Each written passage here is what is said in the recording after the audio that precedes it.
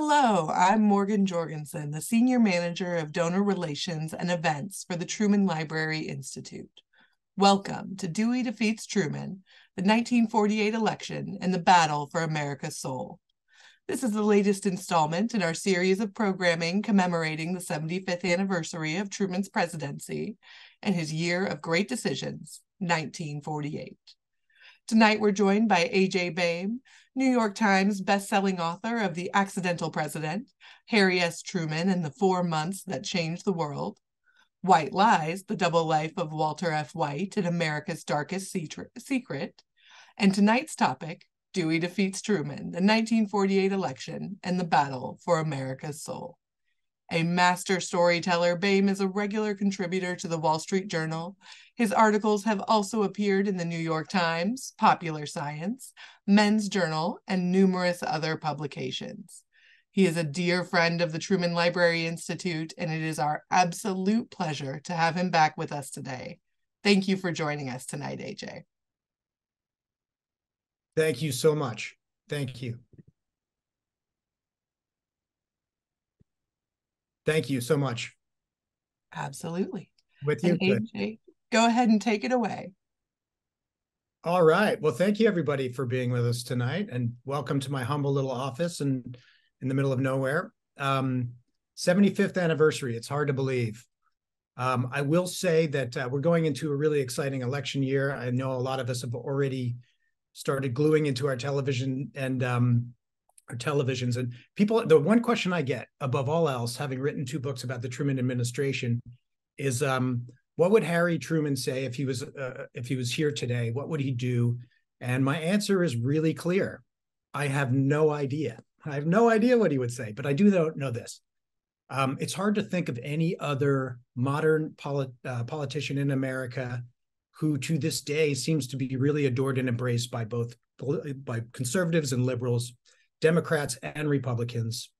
Um, I can tell you, uh, I have um, signed copies of uh, Dewey Defeats Truman for almost every Republican senator in Congress right now, including Mitch McConnell, uh, former senator from Truman's home state, Roy Blunt of Missouri. Um, and yet he's a liberal. How do what do we make of that? A liberal who gets you know touted on the campaign trail by Donald Trump, even. What accounts for that? How can we explain it? And I think given our presentation tonight, I'm hoping that we'll get into some of that and it'll be clear by the time we get to the end. So uh, here's the cover of the book, and here we begin. All right. Um, I want to just talk about this picture a little bit because to me it's just it's such a riveting picture. It's such a historic and dramatic moment um, in our history. Now, in my book, The Accidental President, Harry S. Truman in the Four Months That uh, Changed the World, I spend the first 37 pages on this one day. This is April 12th, 1945. Obviously, you see Truman uh, taking the oath. Um, directly behind his right shoulder is, the, uh, is Admiral Leahy, the chief of staff of the White House. Uh, you see Margaret, his daughter, and the first lady directly to his left. And what is happening here? We're at the climactic months of World War II, right? And Truman is this obscure senator who became the vice presidential candidate almost by mistake in 1944. Few Americans knew who he was or what he stood for. Uh, following in the footsteps of FDR, he'd never been the mayor of a city, never governor of a state. He had no college degree, and he, he had never had the money to own his own home. Um, during the first four months of his presidency, which is what the accidental pre- uh, president is about, uh, he goes from this obscure senator and this obscure vice president to president of the United States, who has an 87% approval rating, and that's higher than FDR's had ever been. Think about that. It's pretty dramatic narrative arc right there. Um, so that's where Dewey defeats Truman begins. He's sailing across the ocean, coming back from Potsdam. And I set this dramatic scene at the beginning where he's sitting with a, a guy named Judge Sam Rosenman, who had been uh, one of FDR's top speechwriters and he says, you know, Sam, Judge, Judge, uh, I got to go, go back to America. The war is over. Uh, we have to reconvert to peacetime economy. It's going to be really bumpy, and the American people expect me to tell them now who I am. I'm no longer a wartime president. And he tells the judge, the judge, it's such a dramatic scene. The judge is uh, scribbling. He was a lawyer, uh, an attorney, so he's scribbling on a yellow legal pad. And Truman says, I'm going to come out for these principles. These are what my policies are. And the judge looks at him and he says this Well, I suppose I've been listening to too many rumors about what you are going to do. They are saying you are going to be quite a shock to those who followed Roosevelt, that the New Deal is as good as dead, that we are all going back to normalcy, and that a good part of the so called Roosevelt nonsense is now over. In other words, that the conservative wing of the Democratic Party has now taken charge. And in fact, Truman is going to go in the exact opposite direction. He's an avowed liberal. And so he creates something called the spe- Special Message to Congress, presenting a 21 point program for the reconversion period. And what he's talking about is laws to expand Social Security, unemployment, and veterans benefits. He's going to ask Congress to raise the minimum wage. He wants to give more subsidies to farmers. Uh, and essentially, what he wants to do is raise spending on just about everything. And uh, the Republicans in, in, in Congress are repulsed uh, and they're ready to fight back. One of them says, This begins the campaign of 1946, meaning the midterms. The gloves would be off from here on out. And so that's the beginning of the story of the 1948 election. Now, by the time we get to this point, which is the Democratic National Convention um, in 1948, that's obviously Truman speaking, and sitting behind him is Alben Barkley of Kentucky, vice his vice presidential candidate. Uh, by the time we get to this, Truman has lost the House, he's lost the Senate. Uh, there's been this labor crisis that has crippled the economy. There's massive inflation. Americans fear there's going to be new world war with the Russians in this new nuclear age. Uh, there's concern that there's going to be a depression, and Truman's approval rating has gone from 87% to 37%. And he comes in and gives this speech to this flat audience. He's late, it's two in the morning, and nobody believes this guy has any shot. And he comes into the hall in Philadelphia and gives this historic speech. One person uh, re- described it like this it was one of the most electric, uh, electrifying things I had ever been present at. Another said, I never in all my life got such a tremendous buildup in such a short time. And what Truman does is he comes out and he says, This is what we're going to do. This is how we're going to fight for the presidency. We're going to go deep on civil rights, which was highly con- controversial at the time. Uh, he's going to support big labor. He's going to support farmers. And then he says this. Let's see if this this uh, video works. Senator Barkley and I will win this election and make these Republicans like it. Don't you forget that. I love that. Senator Barkley and I, well, anyway, uh, nobody believes it's going to happen. Nobody. Now, there are four candidates in 1948. And in Dewey Defeats Truman, I go pretty deep on each of them. I, uh, I really wanted to bring out the personalities and their campaigns because each of them, they all won a lot of votes uh, and each of them represented a significant portion of the American electorate. And so, if you put those four campaigns together, as I do in the book, you really get a good feeling of what was happening in America at that time. Um, now, this is Henry Wallace, is at the bottom right. And uh, I'll just introduce his character through a little story. Um, when The Accidental President came out, uh, I was talking about Henry Wallace on live national radio for a, a program uh, NPR called 1A. And I was talking about how Henry Wallace uh, was sort of loved and hated within the Democratic Party, and that a lot of people thought he was too far to the left, and that a lot of people thought he was a crackpot. And I used the word crackpot, and I'm live on the radio, and I can see the host of the radio kind of like shifting. His eyes are going all over the place. And I only found out afterward that the moment I called him a crackpot which wasn't really me. What I should have said was a lot of people in the Democratic Party at the time called him this word. The switchboard lit up. Uh, and it was a really amazing moment because it made me realize that even today, all of these years later, how many followers this guy has, how many people think of him as an icon of left wing politics. Who was Henry Wallace? Um, former Secretary of Commerce, uh, he invented the first hybrid corn and made a fortune. And he had this idea that um, the Truman administration and this new thing called the Cold War, which is a very new term at that time, was leading us into World War III, and uh, the world was going to be annihilated. So during the election cycle, we're seeing this. This is happening right here. These nuclear bomb tests, these atomic bomb tests in the Bikini, Bikini Islands. And Wallace is invited into the Oval Office with Truman to see these images. And he says, they look like chrysanthemums blooming. And he says, someday soon we are going to see these chrysanthemums, sorry, it's a hard word to pronounce, blooming over the city of Washington. And what Wallace does is he bolts the Democratic Party, creates his own uh, party, which was called the Progressive Party, and um, immediately goes out on the campaign trail saying, Truman is leading us into World War III. I am the candidate of peace. I am the candidate that is literally going to save the world. And his campaign was miraculous. His events were extraordinary. He packed Giant Stadium. He packed Yankee Stadium with paying customers who came to watch him speak. Um, all the way on your side of your screen here is Pete Seeger, the uh, folk singer. And behind Henry Wallace on the wall in a portrait is Glen Taylor, who in himself, fascinating, larger than life character, uh, former country and Western singer, who was famous for uh, climbing up the steps of the Capitol building on his horse, dressed in country and Western gear. He actually, uh, Glen Taylor made his own wigs. He's wearing one in this picture. Uh, and he went on to make a fortune after his political career making hairpieces. But uh, the important part, the thing I want to mention at this point of Wallace is that he was the candidate of peace, and he had a, a small but amazingly passionate following. All right, Strom Thurmond.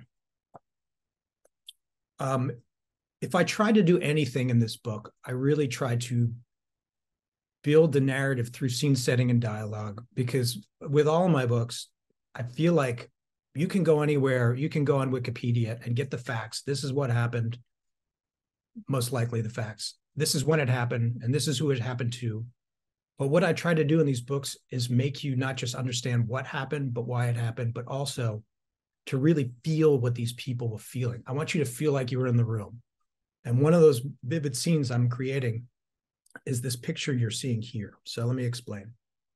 Um, truman goes deep on civil rights in 1948 uh, just this morning, I interviewed the widow of Medgar Evers. Yesterday, I interviewed Clarence Jones. It was fascinating. It was a speechwriter and lawyer for Martin Luther King. But when you talk to these people and you really interview people who had experienced the South as a Black person uh, during the Jim Crow era, you really get a sense of what life was like. Um, you cannot vote, you cannot use certain bathrooms. Um, it was a very difficult time to be black in the South. And here, civil rights. Here, Truman comes out uh, after the war. He's going to come out hard on civil rights, and he's saying a massive number of uh, black Americans fought in the war. They fought for democracy abroad. They deserve all the rights of democracy here at home. Um, not everybody was happy. So, in states like Alabama and Georgia or Strom Thurmond's South Carolina, there was decades of tradition of segregation in schools. We think of Plessy versus Ferguson's famous Supreme Court decision of 1896, which ruled that every, you know, black and white should have separate but equal, which of course we know was not the case.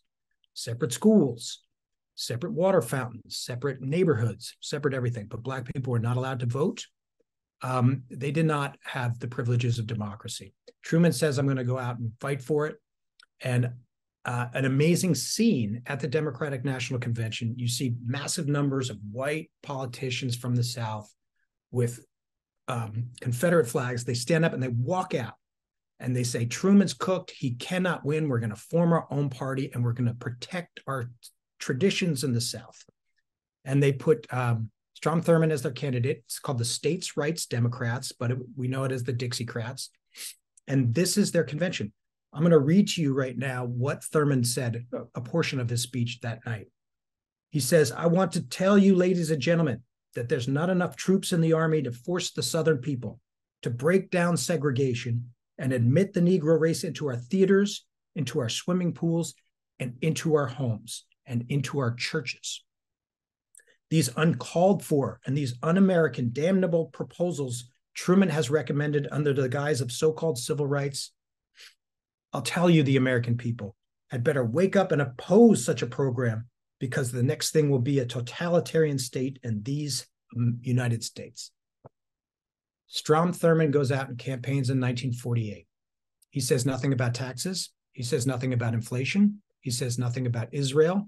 He says only one thing. He fights for segregation and he actually wins four states in the process. Now, here we have Tom Dewey. There's this uh, really dramatic moment early on. Again, I try to set these scenes so that you feel like you're in the room where Tom Dewey is trying to decide whether he's going to run for president in 1948. And everybody's saying you're the front runner in the Republican Party. You came the closest of anybody to beating Roosevelt in 1944. Better than Alf, Alf uh, Landon, better than Wendell Willkie. You're the man for the future. Uh, he's this fascinating character. Um, and I wanted to bring his story to light in this book because uh, as let me explain it this way. Early in the book there's this scene where he's deciding whether he wants to run for president. And um, he says i don't want to be remembered as the guy who lost the presidency twice. And they tell him you can't lose tom. You can't lose. Run for president. You'll win. And he does and he loses. I gave away the ending but we know the ending. Um, and sadly that's pretty much all Americans know about Tom Dewey if they know anything these days. They might know that, you know, part of the I-87 expressway through the state of New York is named after him. But most people know him just for the headline, Dewey defeats Truman. But in fact, uh, he had an extraordinary career. He was the man during the golden age of organized crime in the 1920s and 1930s in New York City. This is the special prosecutor that took down the mob. Uh, he was amazingly, he won uh, the governorship of New York State by historic margins. And I think by the time you get to the end of the book, there's a scene that's really heartbreaking where he realizes that he just lost the greatest upset in American electioneering history. And he has to face the press. Uh, and it's a very moving moment. He has to face his family. His wife is crying. It, it, he was um, really a great man. And when uh, Truman sent later sent troops into Korea, he got a note from Tom Dewey saying, "I support you." When there was an attempted assassination on Truman's life, he got a note from Tom Dewey saying, "I'm so sorry about what happened to you, and, and I wish the best to you and your family." Uh, I think he would have made an extraordinary two-term president. And the strangest thing is that he and Truman agreed on a lot of policies. So I want to say one more thing about Dewey before we moved on. 1948, it should be understood, this was an election that really separated the past from the future. It was the first election of the presidential election of the television age, the first of the nuclear age. It was a line drawn on the sand. These, these parties had to come out and say, this is who we are. This is what we stand for. This is our vision for the post war world. Now, the Republican Party had an identity crisis.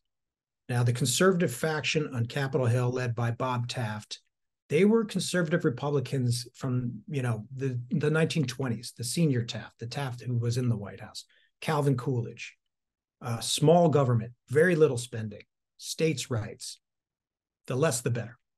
Um, Thomas Dewey was raised almost religiously by his father to represent the other faction of the Republican Party, which was the Teddy Roosevelt faction of the party. As a matter of fact, his father named him after Teddy. So his father called Tom Dewey Ted because his initials were Thomas E. Dewey. Um, so there's this fight between these two factions in the Republican Party. And what happens is Dewey wins the nomination, but the Congress is controlled by the conservatives. And there's a problem there. Very few people notice it at the time, but one person who does is Harry Truman. Okay. Uh, for the second part of my talk tonight, I want to talk a little bit about why this story is relevant right now. And I think when you get to the end, you'll be like, wow, I get it. Um, when Truman was a young lad, uh, he read a lot. And when he became president, people were concerned because he, had no college degree. And there was concern that he was not educated. But in fact, he was very well educated. And um, the reason why is because he read as a child. And when I talk to classes, I talk about this all the time the importance of reading and why history matters. That's what we're going to talk about right now. Um, when Truman was young, uh, he he did this reading and he came to this one conclusion. I'm going to read a quote. He said, "I began to see that the history of the world has moved in cycles, and that very often we find ourselves in the midst of political circumstances which appear to be new, appear to be new, but which might have existed in almost identical form at various times during the past 6,000 years. Um, I'm going to give you examples of why that is true and why it's kind of almost shocking how much was going on in 1948 that feels surprisingly and at times uncomfortably relative uh, relevant today. So in 1945, Truman goes to the Potsdam Conference. He's a new president, and he has to sit down with uh, Stalin here and negotiate about the future of the world. And the Cold War begins over one issue. The first issue that we disagree upon that starts the entire Cold War is the government of Poland. So Stalin thinks that I put my own, I install my own government in Poland. And Truman says, well, Poland should have their own democratic elections. The people of Poland should choose their leader. And that's the disagreement. And Stalin says, but Poland is a nation that borders Russia, the Soviet Union. It's very close to Moscow. We don't understand why the United States should have any opinion over the government of Poland. And there's this misunderstanding. Uh, right now, that exact misunderstanding is happening in Ukraine. Um, here you have Vladimir Putin who's saying, I should be able to control who's in power in Ukraine. It borders our country. It's the exact same scenario. We can just hope today what happened in 19 in the late 1940s doesn't happen 40 years of Cold War. Uh, in 1948, this is something really, I would say, very unique to this book. Some reporting that I did that you will not find anywhere else. Um, there's whether or not there's Russian interference in our election in 2016. I'm not going to address the issue. Everybody has their own opinion. Many books will be written. No one will ever agree. But I can tell you that in 1948, the Democratic Party was very concerned that Stalin was going to push and, and interfere with our election in 1948.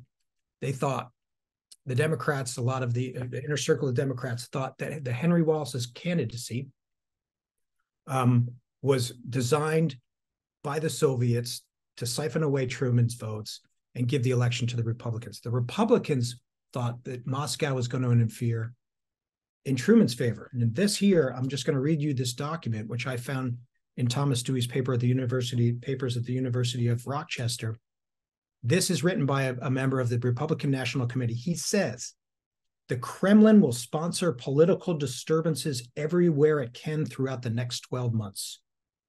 It will try to influence the result of the 1948 election by every means conceivable.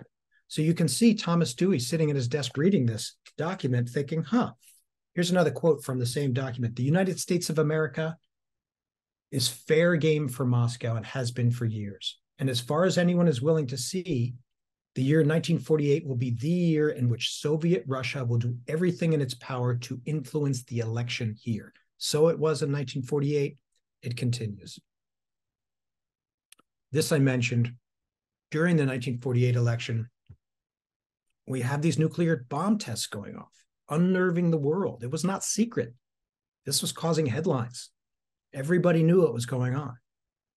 Um, there was tremendous fear at the time that this Cold War is beginning, and eventually it was just a matter of days that the Soviets were going to have their own bomb and we were in for trouble. Today, if anybody's ever heard of the Bureau of Atomic Scientists, uh, they publish a very famous journal uh, that has something called a Doomsday Clock. And the Doomsday Clock measures what these editors of this very important, prestigious academic magazine say. The Doomsday Clock measures how close we are to nuclear war. And sadly, it is higher now than it's ever been. So the fear was there in 1948 and it remains. um, a point I want to make about Henry Wallace. Excuse me. One of the most dramatic scenes in, in Dewey Defeats Truman, I have Henry Wallace going into the Deep South to campaign for the presidency. And he announces before he goes, I will not stay in any hotel where members of my Black committee cannot stay. I will not stay in any segregated motel or hotel, which in the South meant no hotel. He said, I will not speak in any hall where black and white cannot sit next to each other. Wallace knew that when he went to campaign in the Deep South, that his politics were so controversial there that there was going to be a violence. And there, in fact, there was. His vice presidential candidate was thrown in jail. Member, uh, people were stabbed at his rallies. Members of his staff were literally beaten with fists. And he would go up and get behind the lectern and get hit with tomatoes, ice cream cones, for real. And he would say, I would like to understand. I would like to understand for real. This is the United States of America. I'm a politician speaking my beliefs. It's a free country. And it would rain down more tomatoes and ice cream cones and eggs. And this man had the courage to do that. One thing I want to say is like what it showed me was the divide between pockets of America that are deeply conservative and pockets of America that were are deeply liberal that were then were and now Wallace, the same candidate, could then go back to Los Angeles and pack a stadium. There were really two Americas at that time at their extremes, and what his candidacy shows showed it put a spotlight on those two extremes, and that's exactly what's happening today. I think that we're going to see more and more of that as uh, the election in November, next November, gets closer um, it does not take a lot of explaining to why this is relevant today. So this is a picture of uh, a gathering in Washington, D.C. on the day of Israel's birth. It's May 15th, 1948. Um, Truman, as we know, was the first world leader to come out and support uh, the state of Israel. And all of this is happening during the election cycle. And now I, I go deep in this book about the drama that the president of the United States faced at that time with the decision of whether he was going to support the state of Israel. Um, and to me, it's shockingly, shockingly relevant to what we're seeing today. Truman's own State Department, George Marshall, Secretary of State, whom we respected more than any other man in Washington, numerous meetings, George Marshall and all the State Department, and they're saying to him, Mr. President, you can't support the state of Israel. Israel is about to be founded. They can't stop it. The refugees are leaving Europe. They're gathering in Palestine. They're going to form a nation. And the State Department says, Mr. President, if you support the state of Israel, we're going to upset the Arabs and they're selling us oil and we are going to have a war with the Soviet Union. And if we don't get that oil from the Arab nations, we will not be able to fight and we will be conquered by the Soviet Union. The State Department is also saying, Mr. President, if you support the state of Israel, the, eh, the, the, state of Israel will not survive without financial, massive financial and military support from the United States. The United States just finished this long war. The electorate is not going to stand for it. Americans are not going to stand for it. You shouldn't do this. On the other side, Truman saw a moral issue course, we know what happened in the concentration camps, the refugee crisis. And there's a lot of history there, uh, something called the Balfour Declaration, where the Jews were promised their homeland many, many years before it actually happened. And now it's really happening. Um, so the state of Israel is founded. Truman becomes the first world leader to recognize the government there with caveats. Right away, the first Arab Israeli war begins, and there's a massive refugee crisis. And every politician who's running in 1948 has to choose a side. Um, and uh, Truman chose his side.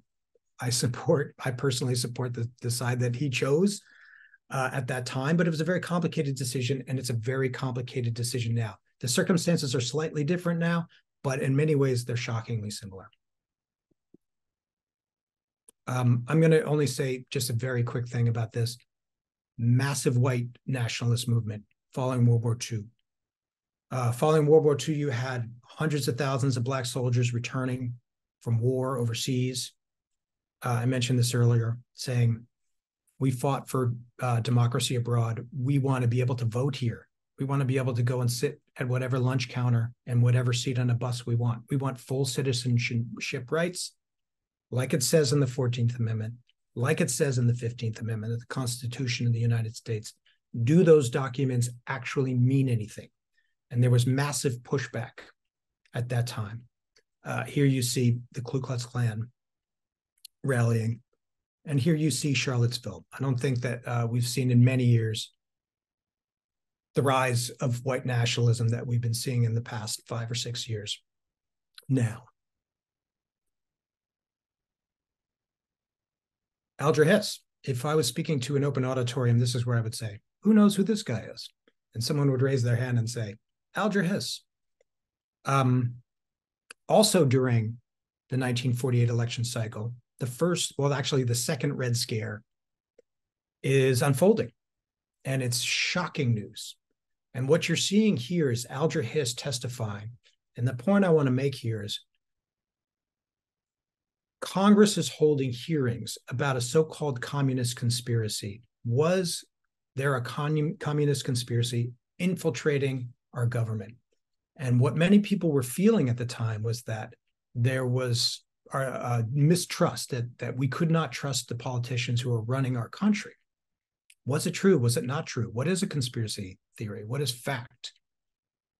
Every politician at the time saw this and said, I have to come down on one side or the other. We need to root out the communists in this country, or communists have a right to be in this country. Um, was there conspiracy? Obviously, conspiracy theories have taken over all of all of our media discussions these days. It's very hard to suss out what is fact and what is not. Can we trust trust our politicians? Today we call it the deep state. At that time, we called it the Red Scare. But it was extraordinarily impactful in terms of how these politicians were running their campaigns. Okay, this is a picture of Isaac Woodard. Um, again, a very dramatic scene in the White House plays out. The day that the head of the NAACP, Walter White, um, I wrote a biography of Walter White called White Lies, and I hope everybody reads it. Um, Walter White of the NAACP comes to the White House and tells Truman the story of this man. There was a trend at the end of World War II, I've touched on it already, where you had a number of black soldiers coming back demanding full citizenship, citizenship rights in the United States of America.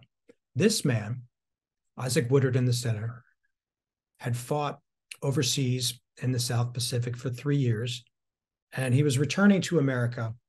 He was on a bus in South Carolina, traveling to be reunited with his family. He was still in his uniform. He had his discharge papers in his pocket with the mimeographed signature of Harry Truman right there on him. And he had about $54 in his pocket. And he asked to use a bathroom. And um, the bus driver, the white bus driver, was not pleased. And there was an altercation with the police officer. And Isaac Woodard was permanently blinded in both eyes. And no one was held accountable.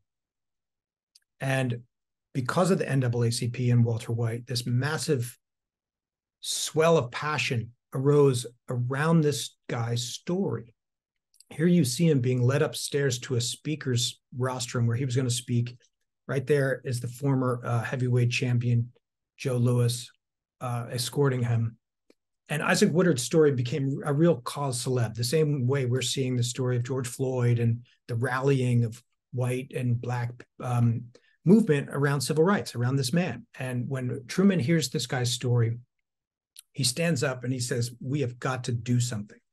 And the very next day, he sends a, a um, memorandum to Tom Clark, who's the Attorney General of the United States. And you can go online and read that. It's an extraordinary document. And really, in that document, you see the beginning of the civil rights movement from the point of view of the White House.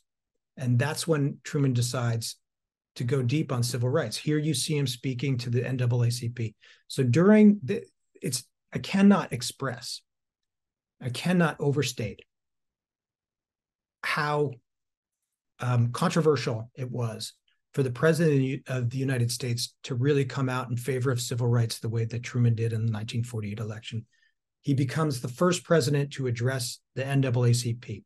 That's what you're seeing here. He becomes the first president to campaign in the spiritual heart of Black America in Harlem. And he desegregates the military. Um, it's very risky. It turns out to be a good move, but I get asked all the time, and he got asked all the time, did you do that for political reasons? And it almost destroyed him. The fact is, he did it for moral reasons. Um, okay. A new media. So today, social media has completely changed the way that politicians run their campaigns. At that time, it was television. What you're looking at here is the very first ever election night television broadcast. We're so familiar with it now with our maps and digitized everything. And uh, this is what it looked like in 1948. This is election night. Uh, I, I, have a piece of video from NBC television. Let's play it and see if it works.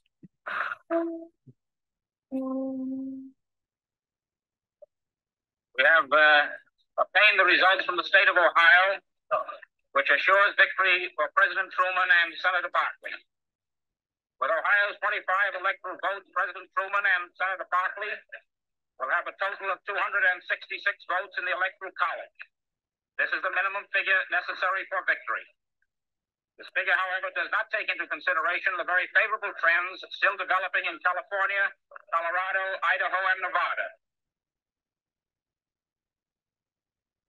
Uh, I'm going to wrap it up with a couple of thoughts here. At the heart of all of this, here's what happened. Truman makes comes up with this idea that if he goes on this whistle top stop tour and he travels all over the country on a train and goes to all of these little tiny places where people have never imagined in their lives they would get to actually see a president of the United States. They would show up just to see the president of the United States and then he could talk to them. Sometimes it would be at four in the morning and he would be in his pajamas. Sometimes it would be raining into midnight. And the mechanics of the speeches that he made, uh, I go deep into in the book because it's fascinating. But a lot of what he did was speak impromptu. He had a research division that would give him a note card saying, You are coming into this town in South Dakota. They're opening a new sausage factory and they had a plane crash last year. And he would use that to just try to connect with people, not as the president of the United States once they came to see him, but connect to them as Harry.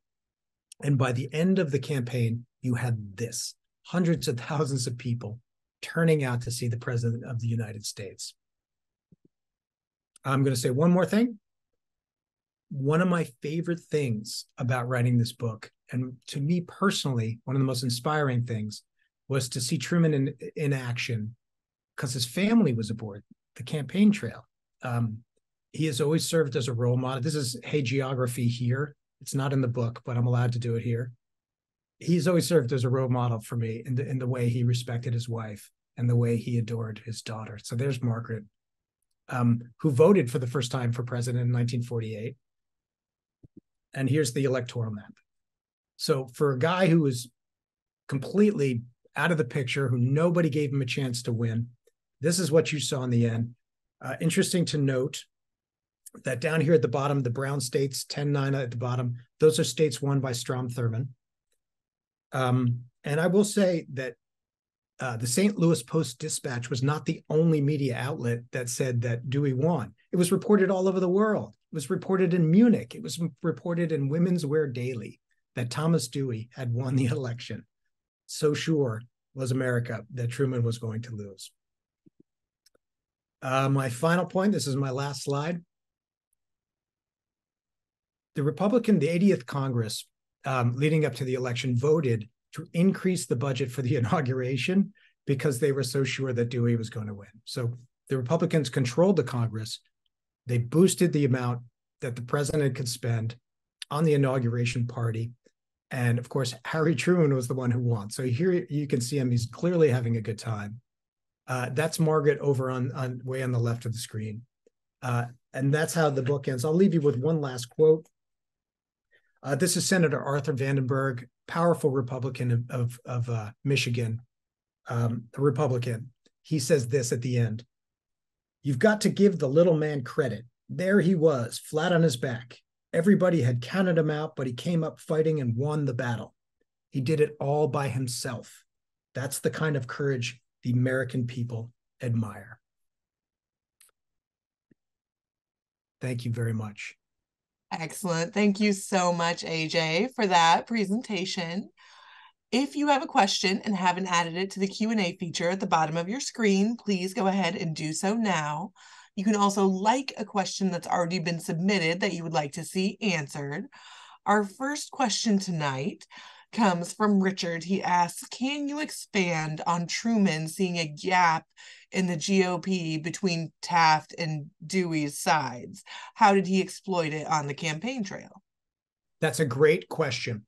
Um, it's again the drama. It's so it's so to me as it's just fascinating and fun to look at in retrospect. So very few people understood what was going on, but Truman, being the brilliant politician, he recognized that there was a schism in the party, in the Republican Party. And so what he did at the Democratic National Convention is he called for turnip day. Um, this is sort of slightly complicated, so I'm truncated mm-hmm. in, but basically what he did was he called Congress to come back from recess, come back to Washington, and pass some legislation. Because the fact was, he recognized that Thomas Dewey supported some of the same principles and policies that Harry Truman did that Congress was virulently against. So what he could do was call Congress back in to session and force them to pass legislation, knowing they would not, because the, the Republican controlled Congress would not support some of the same policies that the Democratic candidate did support. Uh, in doing so, that's why uh, you know the Turnip Day Congress is such a famous term it's a little tricky to explain, but hopefully, if you if you read the book, it's very clear. But it was a brilliant political move and and highly dramatic. So you have to imagine congressmen and senators all over the country getting this phone call at three in the morning, East Coast time, saying, Did you hear about Truman? And they're all like, What did he do? And then they found out. And then they were put in the spotlight on the hot seat like, Are you going to support? Are these Republicans in Congress going to support their own candidate and pass the legislation that he is calling for. And they wouldn't do it. All right. Our next question comes from Frank, and he is asking how much time you spent researching at the Truman Library. Great question, Frank. Um, if if there are repeat customers, so to speak, I apologize if I tell the same stories over and over. but um, what when I first decided to write about Truman, um, I remember my father because I was he was the one who introduced me to Truman. He was a Truman nut, and he had a portrait of Truman in our home growing up. And um, I just always remember seeing this portrait in his office and in our home, and not knowing who it was. I thought he was like some distant grandpa or something. And it was later in life that I found out who he was, and you know, through my father. And when I told my father that I was going to write about Truman, he said, You can't do that. And I said, Why? And he said, McCullough, McCullough. he thought that David McCullough's biography of Truman was so brilliant and so extensive that nothing needed to be said about Truman anymore.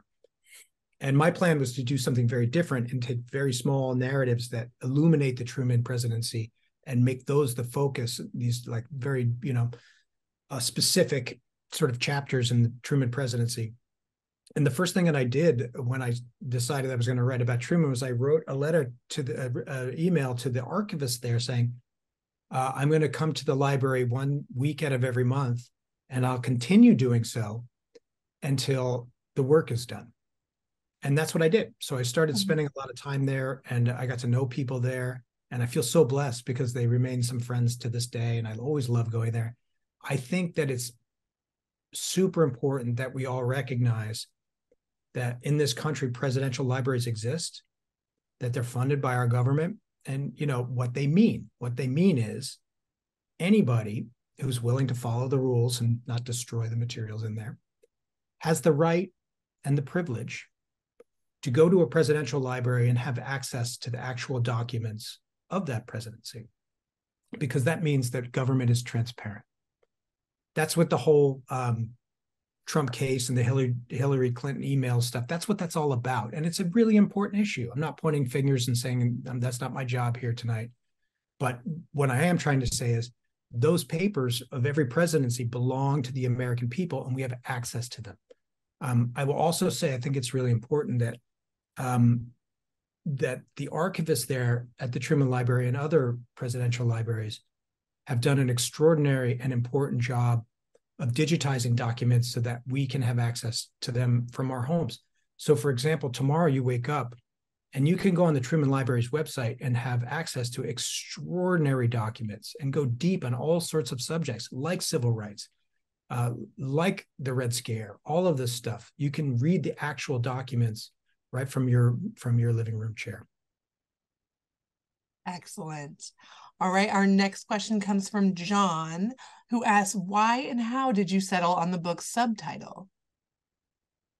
Great question. Um, give me a moment. uh,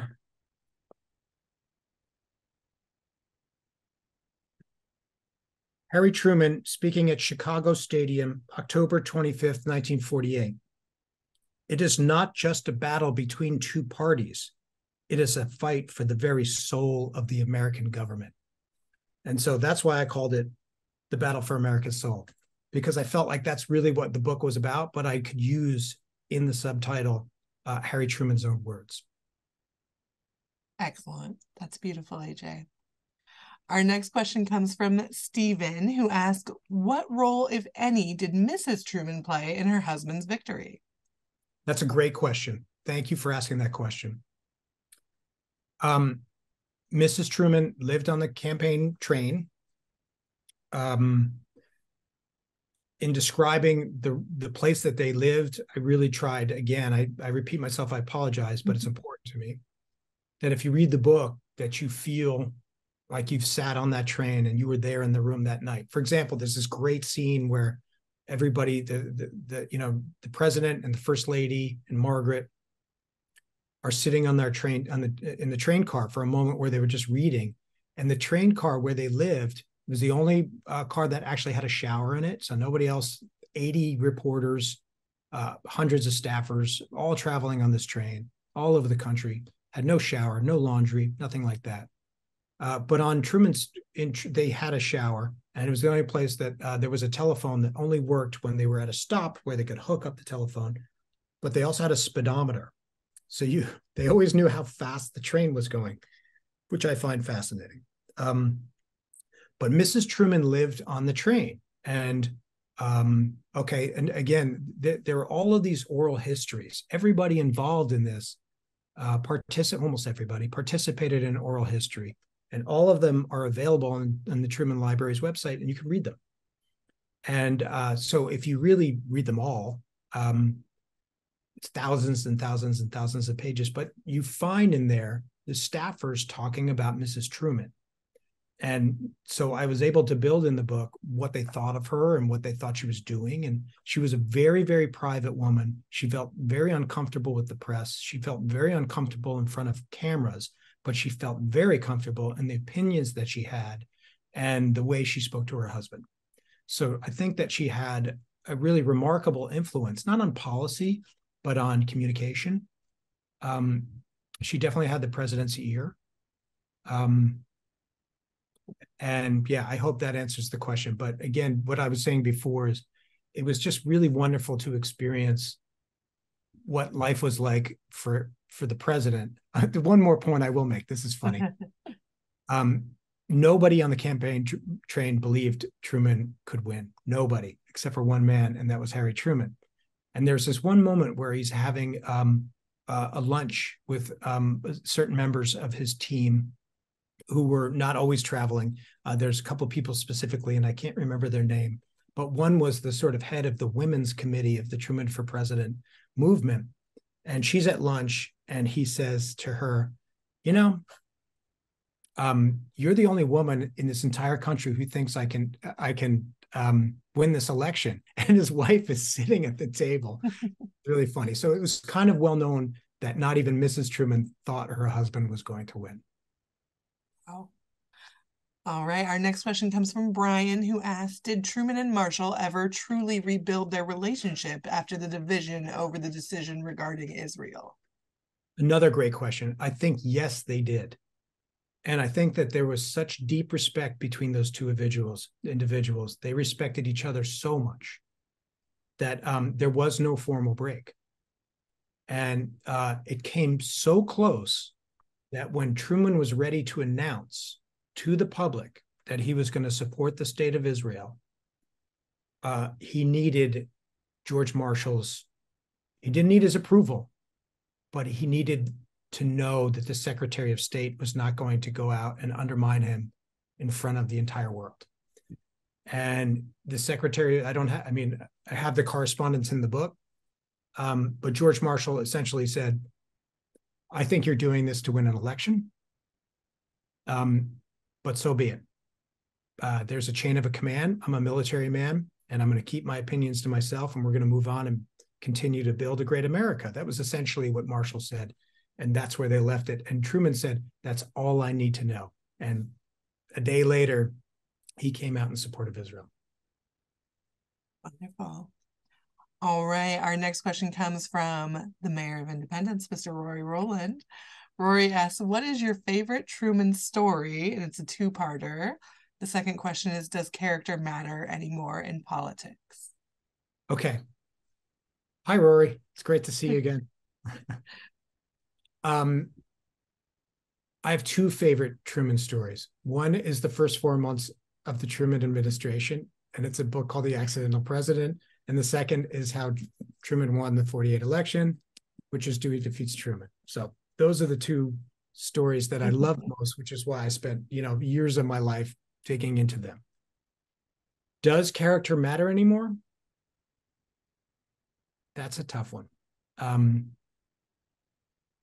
I'm always careful when I speak to audiences, understanding who I'm talking to, um, because this is not CNN and it's not MSNBC and it's not Fox News. So um, I have to understand, especially talking to a Truman audience, which is what I love, is that we're going to have people who come from all walks of life and all political persuasions who love and respect President Truman. Um, does character? I think. Let me answer that this is how I'll answer that question. I think that the problems that we have today stem from the death of local news. All of the news that Americans get today, most Americans, they tune into one channel or another. All the power has ended up in a very small number of hands. And so, tremendous number of Americans getting their all their news from CNN or MSNBC, all their news from Fox.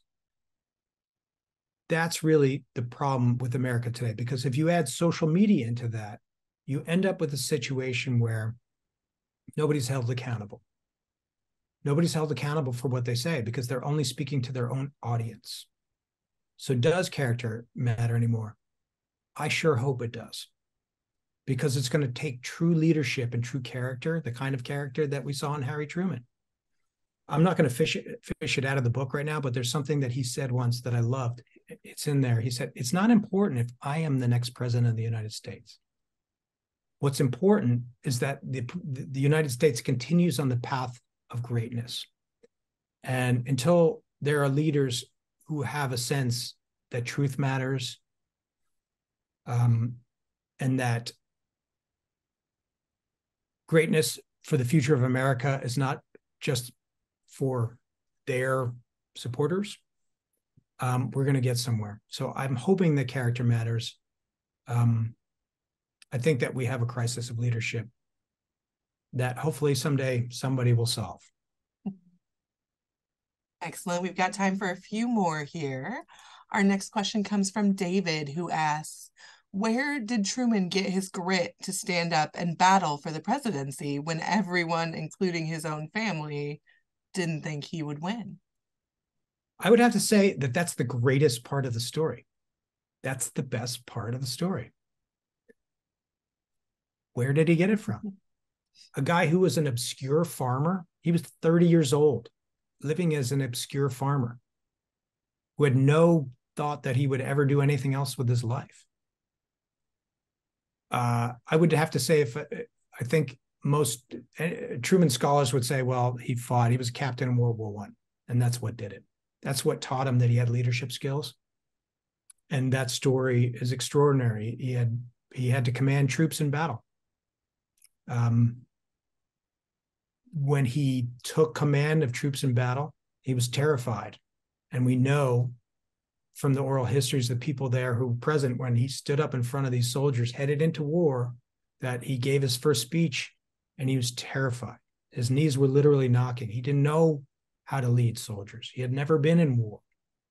And at the end of World War One, none of his soldiers had died, none of his command, and every one of them loved him. And they were essentially the real nut kernel, kernel, the beginning of his political career, because he knew that if he ever needed a favor, any of them would, would cross the country to do anything for him. Um, that's where I think he got it from. Excellent. All right, we'll take one last question. This was asked early, and we've got a handful of upvotes on it. Will you, for our final question, repeat the quote you ended your presentation with? Yeah. The quote I ended my presentation yes, with? the Truman Cycle quote. uh, tell me if this is the right one. This is Arthur Vandenberg, senator from Michigan, after Truman had won. You've got to hand it to the little man. You've got to, ha- excuse me, you've got to give the little man credit. There he was, flat on his back. Everyone had counted him out but he came up fighting and won the battle. He did it all by himself. That's the kind of courage the American people admire. That's perfect. Thank you so much, AJ. Mm-hmm. AJ, we can't thank you enough for being here this evening and for this wonderful and, as you pointed out, prescient topic, uh, sharing this story with us tonight. I really appreciate it. My pleasure. Thank you don't forget for all everybody still watching to register for the 17th annual Bennett Forum on the Presidency, Presidency November 30th at Unity Temple on the Plaza. This year's forum features a panel of historians, veterans, and experts discussing President Truman's desegregation of the military. This is an exclusive member event, so please renew or join now to reserve your spot. Tickets are also on sale now to visit the all new Truman Library. As always, members enjoy the benefit of free year round access to the museum. To become a member or purchase your tickets, visit trumanlibraryinstitute.org. Special thanks again to you, AJ, and thank you all for tuning in and supporting President Truman's legacy. Good thank night, you. everyone.